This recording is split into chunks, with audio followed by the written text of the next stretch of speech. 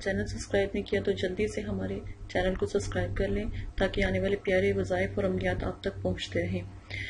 وظائف جو ہوتے ہیں، اگر آپ ان کو شیئر کرتے ہیں تو اس کا یہ فائدہ ہوتا ہے کہ آخرت میں آپ کے لیے بے حساب اللہ پاک سواب رکھ دیتے ہیں۔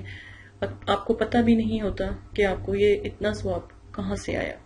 نمبر دو، اتنی نیکی آپ نے کی نہیں ہوتی جتنا آپ دوسروں تک اپنی یہ اسلام کی بات یا وظائف پہنچا کر اپنے لیے حاصل کر سکتے ہیں۔ نمبر تین، نماز اور قرآن پاک لازمی پڑھا کریں۔ ہو سکتا ہے آپ کی وجہ سے آپ کی بات پھیلانے کی وجہ سے کوئی نماز اور قرآن پاک پڑھنا شروع کر دے نمبر چار، چینل کو سبسکرائب کر لیجیے کیونکہ یہاں پر اچھے اچھے عملیات اور وظائف جو آپ ہی کے فائدے کے لیے ہیں اور آپ کی زندگی کو بدل سکتے ہیں۔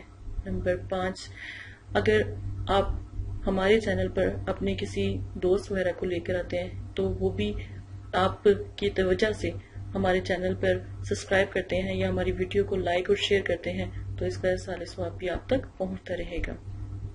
اعوذ باللہ من الشیطان الرجیم، بسم اللہ الرحمن الرحیم۔ میرے پیارے بہنوں بھائی امید کرتی ہوں کہ آپ سب خیریت سے ہوں گے۔ رات کو سونے سے پہلے اللہ کے یہ دو نام آپ پڑھ لیں۔ صبح ہوتے ہی سخت سے سخت ترین حاجت آپ کی پوری ہو جائے گی، انشاءاللہ۔ اور میرا یہ کہنا ہے کہ اگر آپ اس کو اپنا مطلب کہ روزانہ کا معمول بنا لیں، تو یقین مانے، خواب میں ایک بزرگ آتے ہیں، سفید داڑھی والے، وہ آپ کی مدد کرتے ہیں، ٹھیک ہے، اللہ کے حکم سے۔ وہ آپ کو ایسے ایسے رستے بتاتے ہیں جو یہ جو ہے لفظ پڑھتے ہیں۔ یا حیو یا قیوم۔ یا حیو یا قیوم۔ آپ یہ پڑھنا شروع کر دیں۔ دو نام ہیں، پڑھتے پڑھتے آپ سو جائیں۔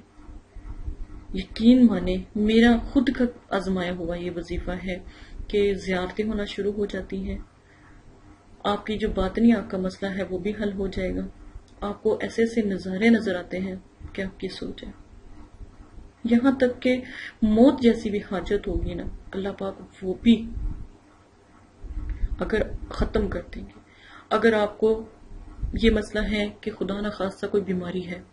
آپ کو بیماری کی کوئی حاجت کے لیے دعا کرنی ہے تو آپ یہ دعا کریں۔ اگر آپ کو پریشانی ہے، کوئی دکھ ہے، تکلیف ہے، آپ کو کوئی پریشانی ہے تو آپ یہ دو لفظ پڑھ کے سو جائیں۔ چلتے پھرتے بھی پڑھ سکتے ہیں، سو کر بھی، سونے سے پہلے بھی پڑھ سکتے ہیں، جب اٹھیں تب بھی پڑھ سکتے ہیں۔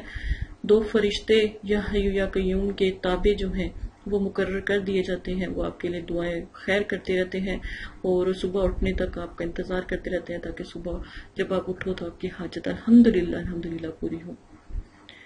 وظائف اثر رکھتی ہے ذکر و ذکرات اثر رکھتا ہے۔ آپ وظائف کرتے ہو لیکن نماز نہیں پڑھتے۔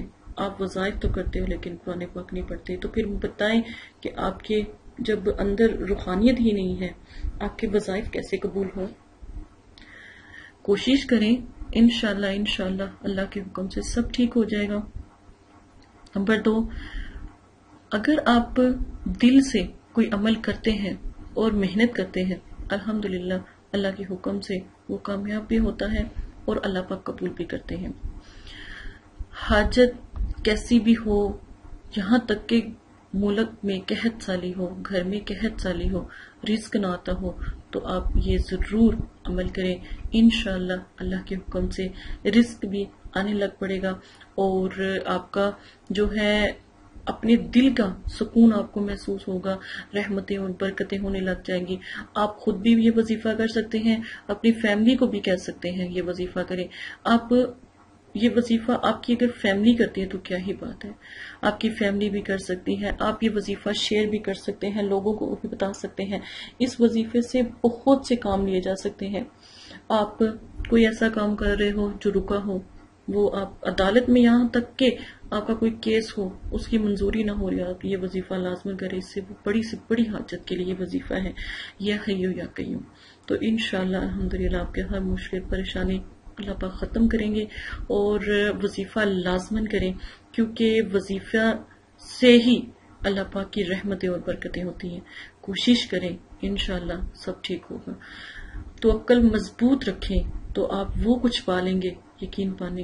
جب آپ دعا کرتے ہیں، تو آپ کی دعا اسی وجہ سے قبول نہیں ہوتی، کیونکہ آپ کی دعا میں بھی کہیں نہ کہیں شرم ہوتا ہے یا شرک ہوتا ہے۔ تو آپ وہ کچھ پا لیتے ہو اپنے امال سے اپنے طریقوں سے، اپنے وظائفوں سے، جو کبھی بھی آپ کو پہلے نصیب نہ ہوا ہو۔ جب زنا عام ہو جاتا ہے نا، تو اچانک موتیں بڑھنے لگ جاتی ہیں۔ یعنی جگہ جگہ سے آواز آنے لگ جاتی ہے، آج اس کی موت ہو گئی، آج اس کی موت ہو گئی۔ جب ملک میں بھی زنا عام ہو جائے، تو یقین مانے، موت آنا شروع ہو جاتی ہے، لوگ مرنا شروع ہو جاتے ہیں۔ لوگ قحط سالی میں ڈوب جاتے ہیں، رزق کی کمی ہو جاتی ہے۔ تو کوشش کریں کہ اس گندگی سے آپ سب دور رہیں۔ جو میرے سبسکرائبر ہیں، میرے بھائی ہیں، بہنیں ہیں، تو مجھے امید ہے کہ میرے بہن بھائی، یہاں میرے چینل پہ وہی لوگ آتے ہیں جو اللہ کا نام لینے والے ہوتے ہیں۔ اور میری دعا ہے ان بہن بھائیوں کے لیے کہ اللہ پاک ان کو ولیوں میں شمار کر دے۔ اللہ پاک ان کو ولی بنا دے۔ آمین سم آمین۔